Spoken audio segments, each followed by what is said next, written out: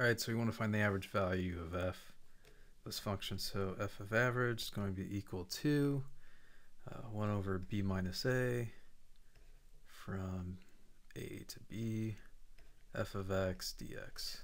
So we're going to have uh, 1 over 4 minus 0, 0 to 4, square root of x dx.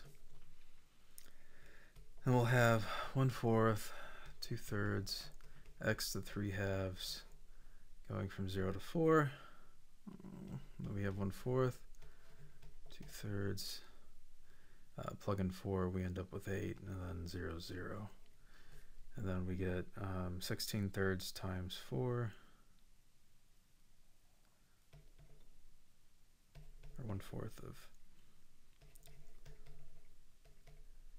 uh, 16 over 12, which is 4 thirds. All right, and then um, for C such that f of average is equal to f of C, f of C,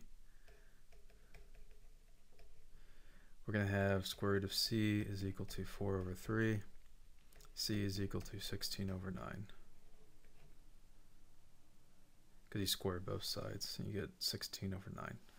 Okay, there's that. And then I got the graph here of uh, the sketch the graph of f and the rectangle whose area is the same as the area under the graph of f.